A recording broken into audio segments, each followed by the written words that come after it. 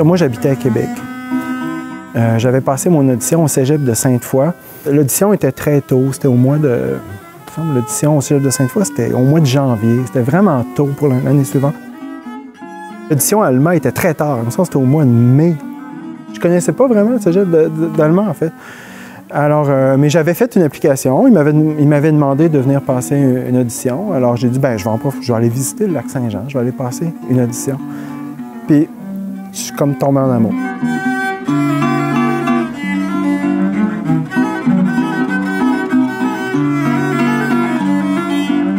J'ai rencontré mon professeur, Roger Boudreau, que je connaissais parce qu'il jouait dans, le groupe Madame.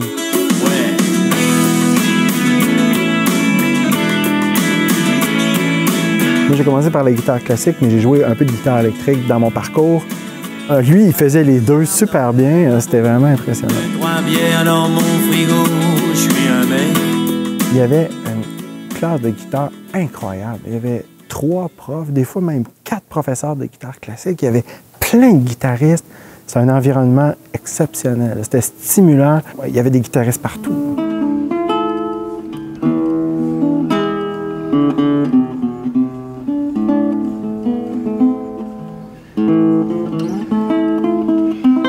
C'est lui qui m'a appris à faire un phrasé. C'est une notion assez de, assez de base dans un sens. C'est comme dire une phrase, savoir comment dire une phrase, comment, comment, euh, comment jouer une phrase musicale. Quand je fais un phrasé, quand j'essaie d'explorer comment faire une belle ligne musicale, ben, je repense des fois à Roger qui me disait, je m'en souviens encore, la feuille avec le crescendo, décrescendo, avec la, ligne de phrasé.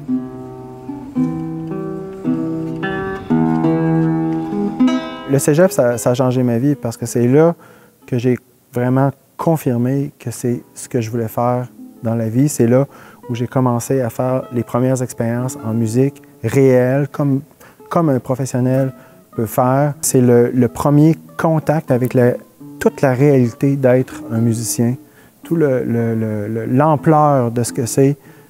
Puis euh, c'est là où on commence à assimiler ça, donc c'est hyper important.